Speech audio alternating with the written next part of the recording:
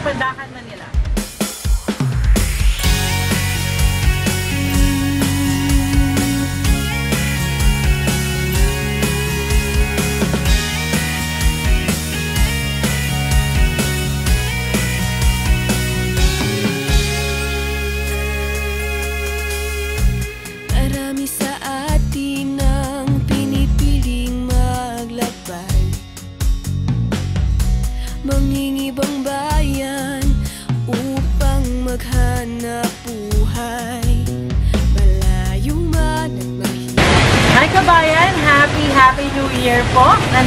Ang gifts for everyone. Uh, overtime today para maghatid ng gifts and words of love dito po sa Pandakan, Manila. So today, gusto po natin i-surprise ay ang family ng ating um, sender from Bahrain na si Ma'am Marjorie. And ang gusto po niya ibigay ay ang mga regalong ito para sa kanyang pamilya, especially para sa kanyang mama Mirna na today po ay New Year. So sana po magustuhan nila pandagdag sa kanilang handa. Kahit sobrang maulan at mabagyo dito po sa Pilipinas, ay dito pa rin po kami handang magbigay ng saya. So, samahan niyo kami muli maghatid ng gifts and words of love. Ako po ang inyong love ambassador si April. Let's go!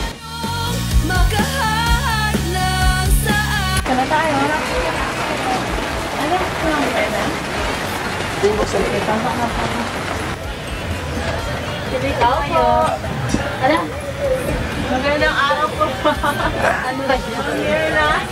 Ayun, salamat. Ayan po. Ah, kaibigan, kaibigan ka ni Mark na? Yay! Okay. Hap- Happy New Year! Happy New Year po! New Year na! Hello po! Ito po balloons. Okay, ako po si April. Okay, and kami po ay from Gifts for Everyone. Okay, thank you. Sige po, di- siguro dito po kayo, sir. Okay, medyo basa na ang ating mga mga daladalahin. Nagugulat po ba kayo kung kayo galing to?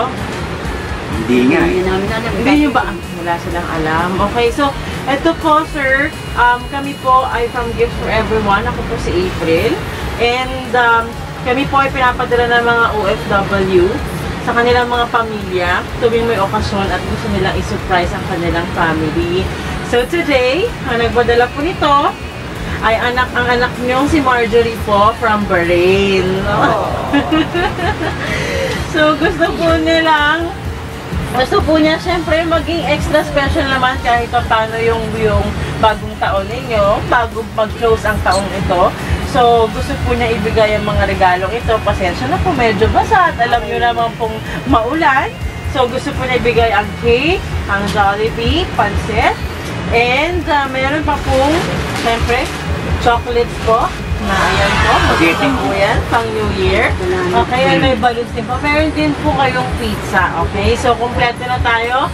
Maghihintay na lang sila ng bagong taon maya-maya. Okay, so ito pong video na to ay isa-send po namin sa kanya, ma'am. So, um, ah, aside from the mga gifts na dala namin, syempre ang pinaka-importante na dala namin ay yung message niya para sa inyo. Basahin ko na po. To Mama Mirna and Gana, Happy New Year ka, pamilya! Malayo man, malapit pa rin. Mahal ko kayo, alam niyo yan, kaya magpapakabait kayong lahat. See you in 4 months. Miss you and love you, Mommy and Papa. Pati na rin sa mga kapatid kong pasaway. Nasaan na po yung mga kapatid na pasaway?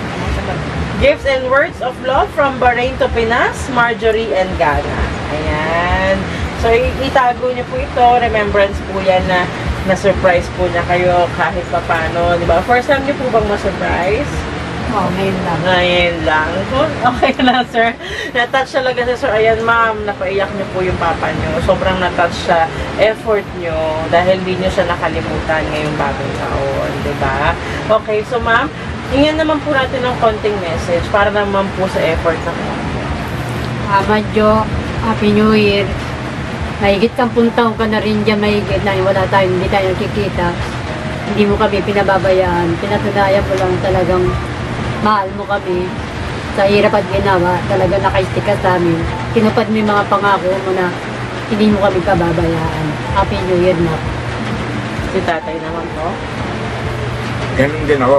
mga sinabi ng ni mami ko. Makapapa kasi. Mga papasko. Paborito mo yun. Mahal na mahal kita? Tagal tayo hindi nagkita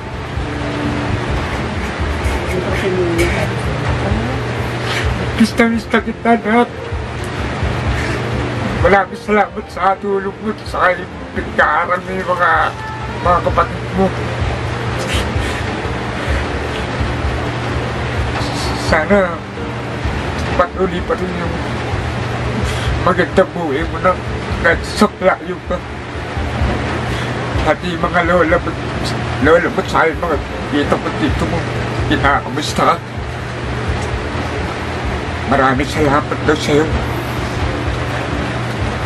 Ayan. So, sobrang natouch. Maka ano pala siya. Asan po ba siya dyan? Sa, sino po ba siya dyan? Ito, yung nasa gitna. Ay, yung nasa red. Yung naka-red. Ayun. Okay, yan pala siya. Diba? Apek lang. Ah, okay. So, ayan ma'am, sobrang natouch si tatay. Sobrang namimiss ka na yata niya. Ilang taon na po ba siyang di umuwi? Sampuno. 10 years. Ano na ba yun? Ano yun? Tanda ko pa yun, September, September 19, Bakit, 2009. bakit pwede siya nakaka-uwi daw? Hindi, dire-diretso na yung work niya. eh. Hindi po, wala po bang bakasyon? Hindi po ba nakaka... Hindi, may bakasyon meron din yung ginagamit. Bakit? Sobrang alcoholic, eh, sobrang uh, workaholic nyo naman, ma'am. Ah, hindi po alcoholic ka. Sobrang workaholic nyo naman, ma'am. Ngayon, uuwi talaga siya. Akin na po siya, oh, four months, four months na lang, yay, uwi ka na, ma'am. So, buwasan mo na yung kaban mo dyan. Magpakita ka na sa papa mo, oh. So, yung papa mo, hinihintay ka na after 10 years, grabe, no? Pero meron naman po kayong communication sa video chat or may ganyan naman po. Pag may okasyon. Pag may okasyon. Okay, wala po ba nag- mga kapatid na may ah, interview para po may konting exposure naman sila sa ating Pot! video. Tawag Eh, kayo. dalawa. Ito po, ito po ang aming accomplice, ma'am. Ito Ay, lang po, okay lang po. Ito po, ang pangalan niyo, ma'am. Gwen po. Ito po si Gwen. Ito po ang aming accomplice, ma'am. Siya po ang nakakaalam, tumulong sa amin na hanapin yung bahay niyo. Okay, so ito po ang kasabwat ng inyong ate niya. Ate niya po kayo. Oo. Ayan. So, Gwen, ano masabi mo sa ate mo ngayong sa effort niya? Ang gabi yun. Naiiyak ako. Oh, tapos ako bumiyak eh. Tapos na silang umiyak. Ano, ah, salamat ate sa lahat. As, the best ka talaga. Miss mo na ba? Eh, 10 years na kayong hindi nagkikita, no? Ilan taon ka nung last na nagkita kayo? High school, no? High school. Ano, first year high school ko lang ako nun. Grabe, ilan taon ka na ngayon? 21. So, 11 years old. 11 years old pa lang si ano, siya nung umalis ate niya. Pero naalala mo pa siya, may bonding moments naman kayo ng ate mo. Lahat ng gusto niya. Binibigay ng ate niya. Talaga po. Spoiled ka pala sa ate mo eh. Asa pa ibang mga, ano, yung mga kapatid. Kuya, ikaw naman po magbigay ng message para kay ate mo kasi sasend po natin yan sa kanya. Tay, ano, hindi naman sa ano, sa sobrang tagal na ano, nawala sa amin. Iniwan mo kami bata pa lang ako. Ano, sana naman kahit isang beses lang umuwi ka. Miss ka na kasi na ano. Huwag ka mag-alala, uwi na daw siya, 4 months na lang.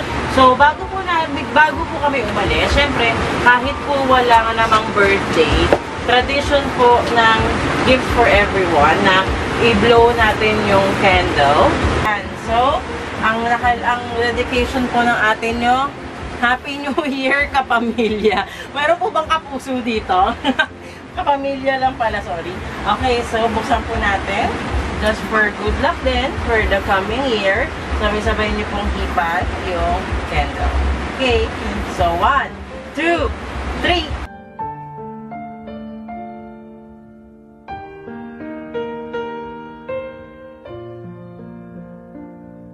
Feeling ko ang ganda nun sa picture. Okay, so ayan po.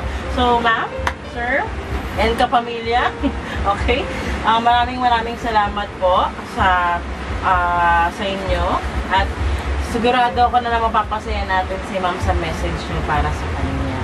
Okay, so, ah, ma'am, Ah, Marjorie, salamat po sa lahat ah, sa tiwala ninyo sa Gifts for Everyone. Ayan po yung mga ah, pamilya, yung pamilya nyo.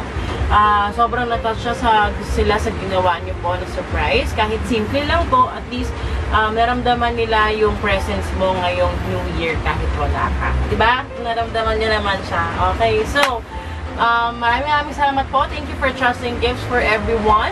Para din po sa inyo na gustong ah, paiyakin ang kanilang pamilya dito sa Pilipinas, mag-message lang po kayo sa aming page, Facebook page, Gifts for Everyone.